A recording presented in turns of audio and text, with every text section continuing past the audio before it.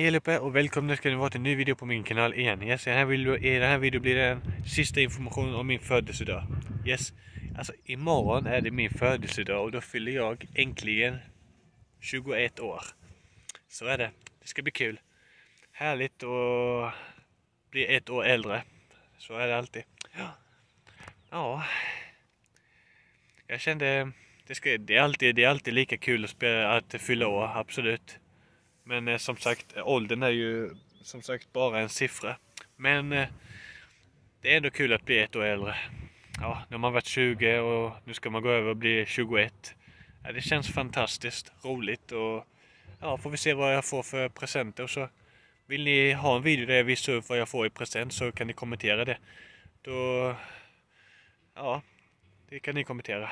Men eh, jag kommer i alla fall göra en sån video men ja, så är det. Där jag visar upp mina presenter.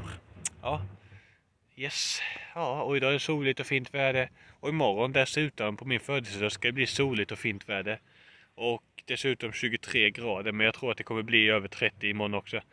Japp. Det, det visade sig att det skulle vara 22 idag och det gick över till 30 grader strecket idag. Så jag tror det kommer göra det imorgon också, garanterat. Yes. Som sagt, ja, det finns en eh, video som ni kanske har missat som som jag länkar i beskrivningen är att eh, ja, är ju att eh, ja, där jag pratar om eh, Storytime där jag berättar om att vi kommer få en repris av 2018 av sommaren. Men det kan ni se där, jag lägger upp den där på höger, höger på högra sidan längst upp och i, beskriv, i, beskriv, i beskrivningen. Yes, ja, så är det. Ja, men då får jag tacka för att ni har kollat på den här videon. Glöm inte att prenumerera, kommentera, ge mig upp som missar alla nästa video så får ni ha det bäst så ses vi nästa. Ha det bäst, hejdå!